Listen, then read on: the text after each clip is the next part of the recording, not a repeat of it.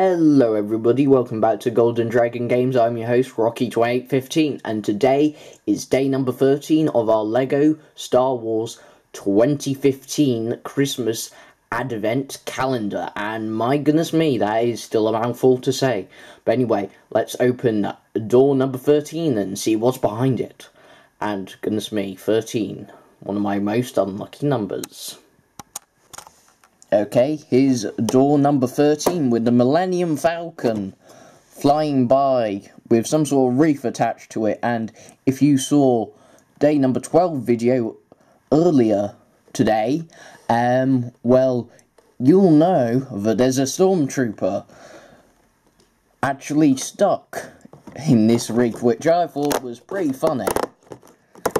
But anyway, let's get door number 13 open and it's that bounty hunter guy. You know the droid bounty hunter from Star Wars Episode 5?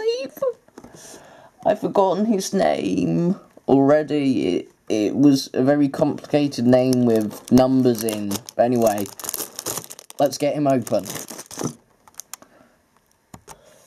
Also, before we open this, um, earlier today I released day 12 video and if you're wondering why it didn't release yesterday on its proper day please go back and watch that video if you already haven't. Because uh, I explain everything in that video and I don't want to explain it all again because yeah I just recorded day 12 before this video and my throat is getting really sore but anyway, let's build this bounty hunter droid. So, you got the legs, you got the feet, you got the arms. You know, simple, look, normal droid parts. You need arms and legs.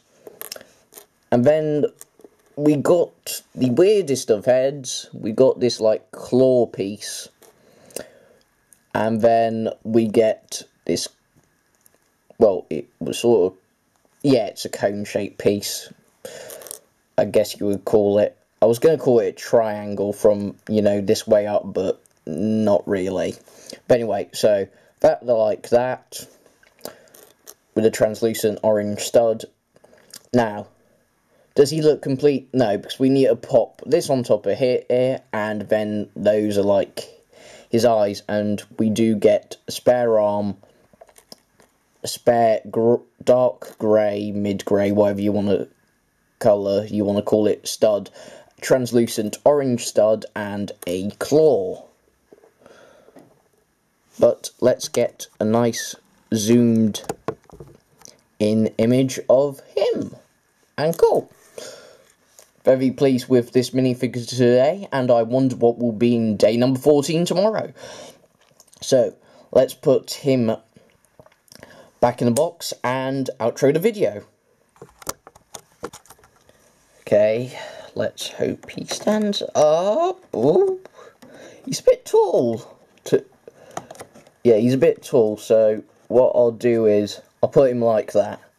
So he's like holding onto the box and because this is like cardboard as you can see, he's feet are poking out in day number five.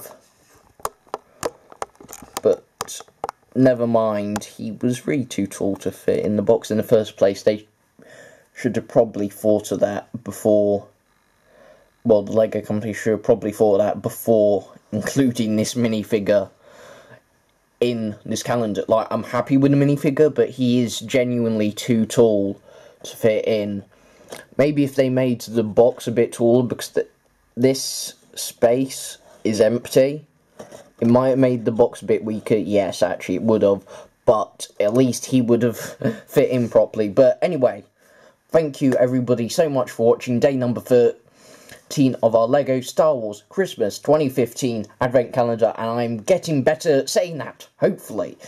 And until next time, remember to leave a like, favourite, share, subscribe to the channel, comment, and also until next time, stay golden, stay frosty, and bye-sies.